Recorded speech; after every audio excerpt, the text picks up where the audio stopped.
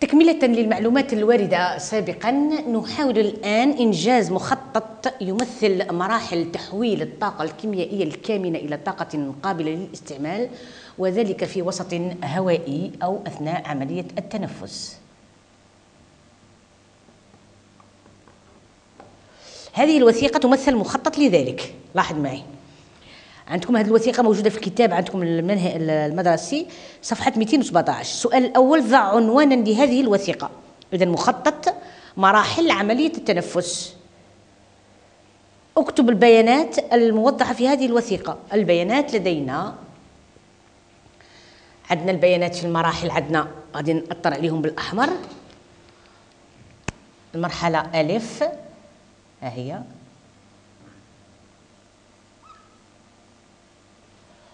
المرحلة با والمرحلة جيم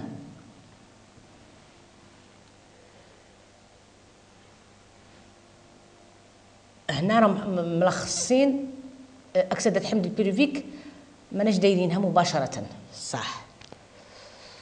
كون أنها مرحلة قصيرة جدا ولكن هي عبارة عن مرحلة هامة جدا. إذا ألف نبدو بألف. هي أول مرحلة التحلل السكري.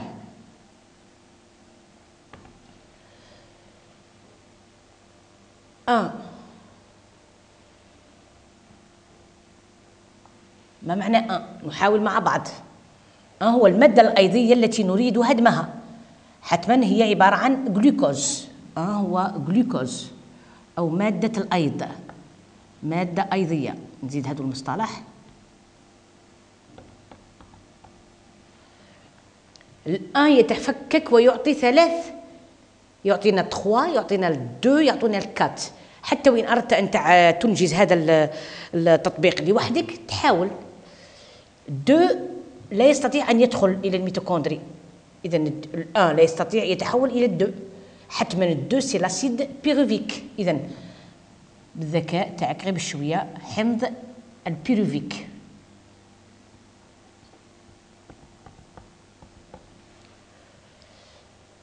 3 لاحظ مليح. 3 راه عندي من التحلل السكري. 3 راه عندي كذلك من أكسدة حمض البيروفيك و 3 راه ناتج لي كذلك من حلقة كريبس. إذا 3 هو عبارة عن نواقل مرجعة وبالضبط هي عبارة عن ال NADH H plus نواقل مرجعة.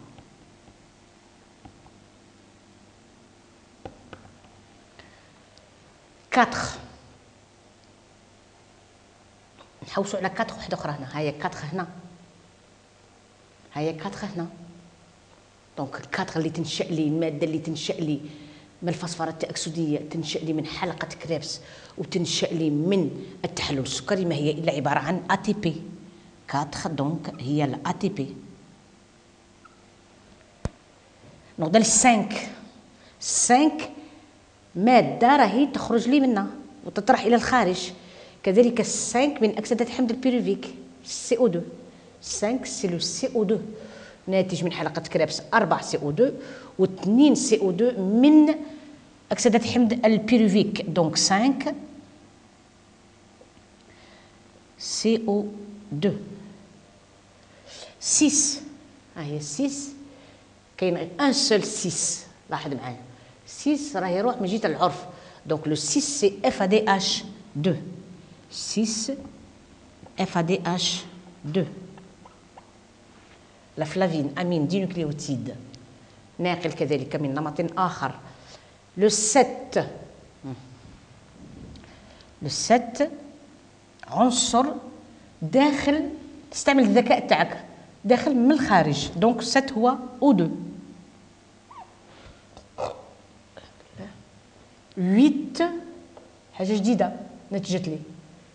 لو 7 اي لو 8 دونك الماء اللي ينتج لي من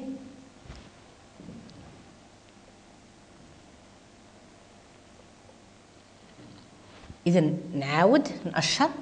حتى وإن عجزت قلنا عن آه، إنجاز أو آه، معرفة كتابة البيانات حاول استرجاع كل المعلومات اللي درسناها مرحلة بمرحلة تستطيع الإجابة على آه، الأسئلة. إذا ألف قلنا التحلل السكري ها هو. با حلقة كريبس. جيم الفسفرة التأكسدية.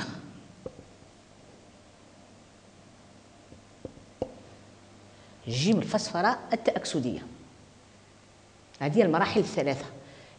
إن كان قلنا أربعة. إذا أعيد التحلل السكري مقره الهيولى الأساسية. آه، أكسدة حمض البيروفيك الفراغ البين غشائي حلقة كريبس الحشوة والفسفرة التأكسدية مقرها العرف. إذا كتبنا البيانات الموضحة في الوثيقة خمسة. ثم ماذا تمثل الأحرف ألف باء وجيم؟ أنجز مخططا تلخص فيه مجموع الظواهر التي تم التطرق إليها في النشاطات السابقة لتحويل الطاقة الكيميائية الكامنة في الوسط اللاهوائي ما معنى هذا المخطط؟ نحاول إنجاز هذا المخطط.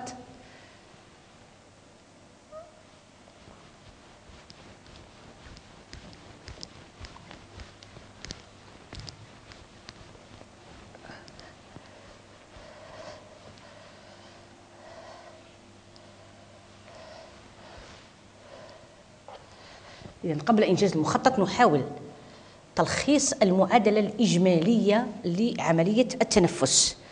المعادلة الإجمالية لعملية التنفس تكون على النحو التالي. إذا المعادلة الإجمالية.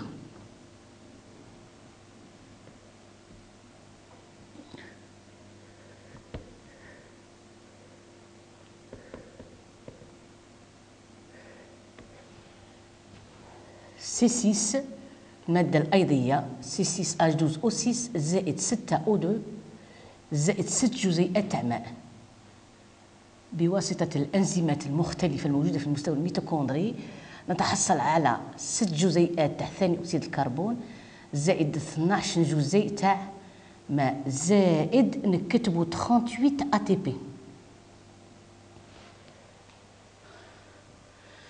38 ATP هذه اللي حصلت عليها أنا من عملية التنفس والفسفره التأكسدية. donc حصلنا كما قلنا على 2 ATP من التحلل السكري. الربح هنا قلنا 2 ATP. من أكسدة حمض البيروفيك ما عندناش. من حلقة كريبس عندي 2 ATP. عاود. ومن الفسفره التأكسدية عندنا 34 ATP. هذه 34 ATP تذكروا اش درنا؟ 30 جاية من NADH H plus 10 حولتها وربعة من تحويل 2 FADH2 اذا حولنا في الفسفرة التأكسدية 2 FADH2 حصلنا منها على أربع جزيئات من ال ATP 10 NADH H plus حصلت عليها على 30 30 والربعة 34 plus 2 ATP تاع حلقة كريبس plus 2 ATP تاع التحلل السكري le total هذا نسميه الربح أو المردود. المردود الطاقوي. هذه المعادلة الإجمالية لعملية التنفس. طلب منا إذن إنجاز مخطط يلخص مجموع الظواهر التي تم التطرق إليها. إيش المخطط هذا؟ إيش هو؟ إحنا عندنا الخلية بهذا الشكل مثلا. غادي ندير خلية بهذا الشكل.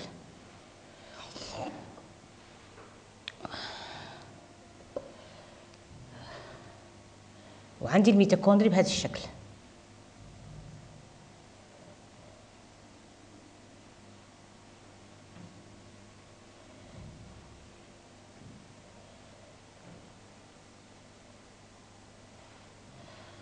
اذا إحنا قلنا le C6 اللي هو الجلوكوز يدخل هنا الفسفرة الأولى.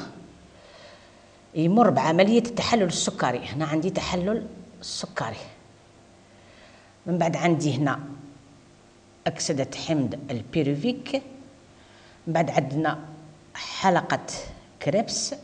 من بعد عندنا الفسفرة التأكسدية. إذا هنا عندنا التحلل السكري. يجيني حمض البيروفيك حمض البيروفيك. يدخل لي الفسفرة أكسدة حمض البيروفيك في الفراغ البين غشائي باش نحصل على acétyl coenzyme A هذا نسميه l'acide pyruvique l'acétyl مرافق الأنزيم ألف يدخل في حلقة كريبس.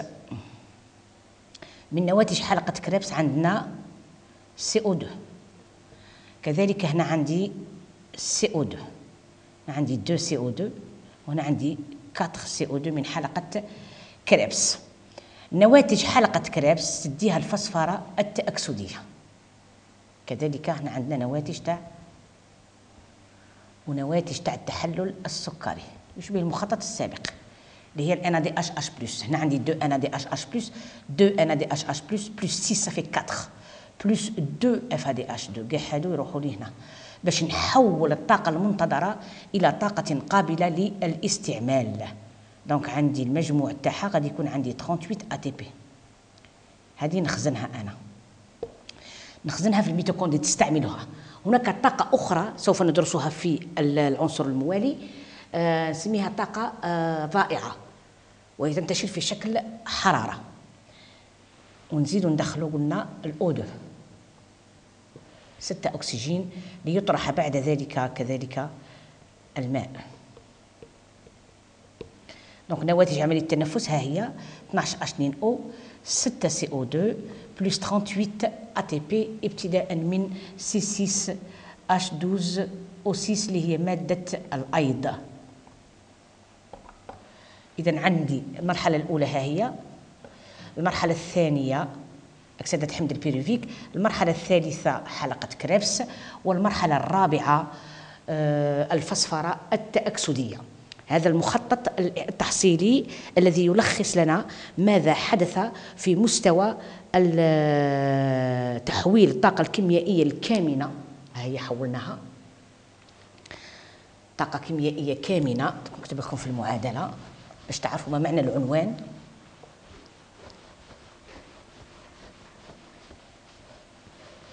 حولنا بهذه المعادلة ها هي. هذه طاقة كامنة.